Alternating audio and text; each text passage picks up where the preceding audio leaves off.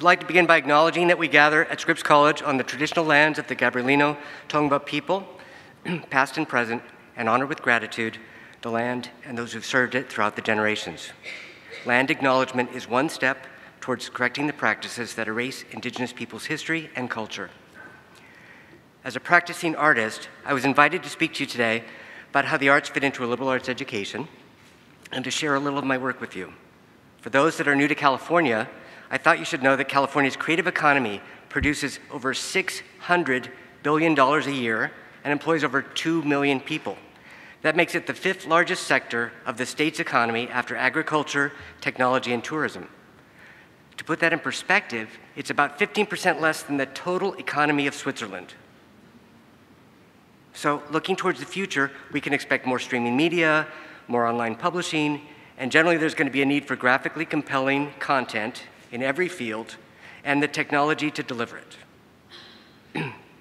but technical skills are only half the battle because as technologies change, creative problem solving and critical thinking will be your greatest tools.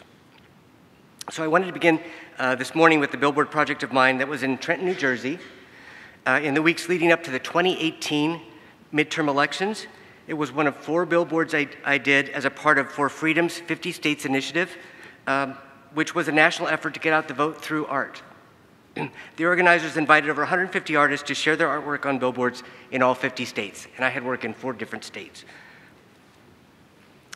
Here's the same billboard when it was first shown in 2010 in Los Angeles. The bust on the left is Italian from 1520. The bust on the right is believed to have been a slave in England in 1758. We don't know who commissioned these works or why, but we, are, we know they are both at the Getty Museum where I photographed them. I brought them together digitally, but left an expanse of white space in the center. I imagine the space as a kind of absence to stand in for or to signify the missing histories. It was a space that might normally be filled with text, a silence that spoke to the physical displacement of people through conquest, colonization, and slavery. It was about black and brown diasporas. It was about decolonizing the museum by bringing work out of the museum but it was also about the struggle for marriage equality. Some of you may remember that in 2008, California's Proposition 8 banned same sex marriage and was approved by voters and was being challenged in the courts when I made this billboard. The law was overturned in 2010, just three months after the billboard came down, and my work was just one of many responses in support of the queer community. In June 2015, the Supreme Court struck down all state bans and legalized same sex marriage nationally something I never thought could happen in my lifetime.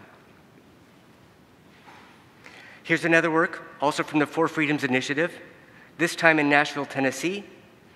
Working as a photographer, I often erase or alter existing images and give them new meaning. To erase something can be seen as a form of displacement or destruction, but in my work, I've tried to turn erasure into a site of production and an absence into a constructive presence that critically engages viewers and creates new meanings. When I began the Erased Lynching series, I wanted to make a project about whiteness and racial injustice, but I didn't want to re victimize those who had been killed. Since then, the series has helped raise awareness of the lynching of Asians, blacks, Latinos, Native Americans, and whites in California. According to the Equal Justice Initiative, over 4,000 African Americans have been lynched nationwide. And while no artwork can address the ongoing pain and trauma of lynching to African Americans and their families, my project was produced in solidarity with a wave of new scholarship in the, on lynching in the early 2000s. The photographic image seen here depicted the lynching of two white men, kidnappers in San Jose, California in 1933.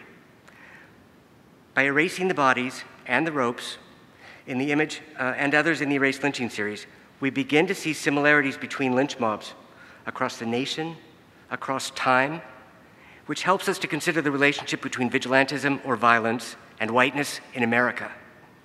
By now, you've made out the pair of well dressed young lovers on the left, or the two male students staring back at the photographer, the many men in suits and then there's the young woman on the far right, her mouth wide open, as if caught yelling or laughing out loud. Here's an installation view of my work at the Smithsonian National Portrait Gallery in Washington, D.C. last year. The exhibition included a selection of the Erased Lynching series that drew uh, on my documentation of over 350 cases of lynching in California, which identified for the first time that Latinos made up 44% of those cases. Since then, over 500 cases of Latinos and Latinas being lynched have been identified nationwide by other scholars. In this image, you see a blown up version of one of the many thousands of lynching postcards that were made and sold in this country. The vast majority of these postcards depicted the lynching of African Americans. But in this case, we see US soldiers in uniform after they've killed a Mexican along the US Mexican border sometime between 1913 and 1919, a century ago, 100 years ago.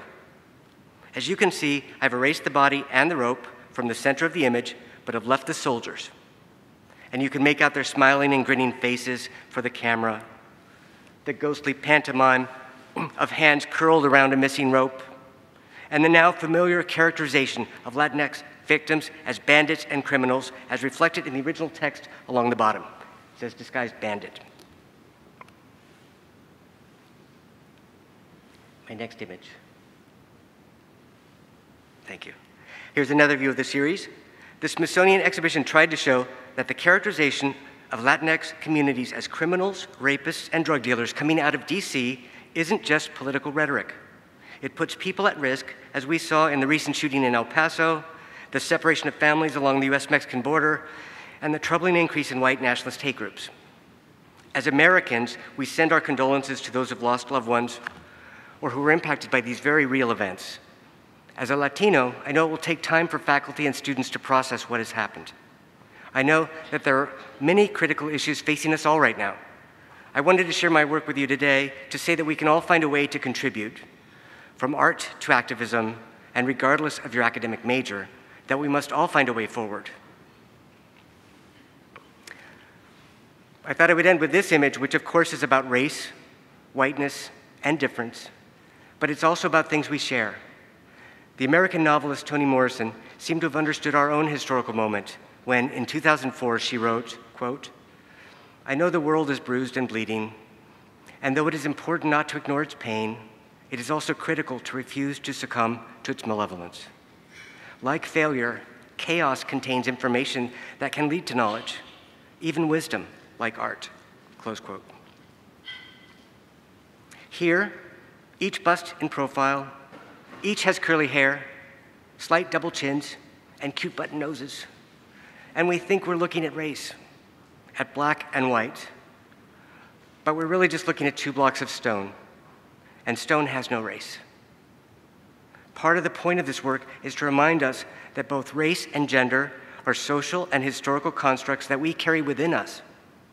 Ideas that you will be unpacking through CORE and other courses in my own work, I borrow from restorative justice practices where punishment is replaced with reconciliation and restitution to create works that contribute positively to public discourse. I know that not everyone here is going to pursue a career in the arts, but I hope you will take a class, attend a performance or exhibition, and for first years, you will be exposed to new ideas, but you will also help each other study and to see issues in new ways. I also know that some of your best friends are here in this room. You just haven't met them yet. but you will.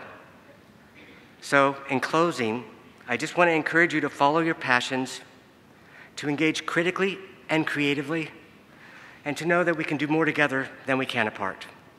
Thank you.